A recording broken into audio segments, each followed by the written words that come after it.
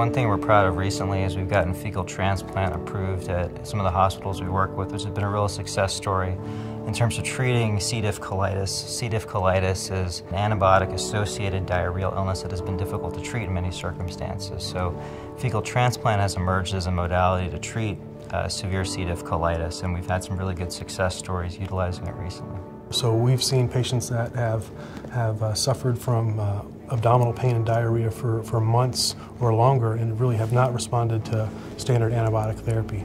So now that we've been able to uh, take these patients that, that really um, are at their, you know, uh, very frustrated and, and, at their wits' end with, with uh, what medicine has, has been able to offer uh, previously, and then we can, with a simple procedure, a simple stool transplant procedure, really get them back to their normal health and, and, and their, and you know, completely alleviate their abdominal pain and diarrhea.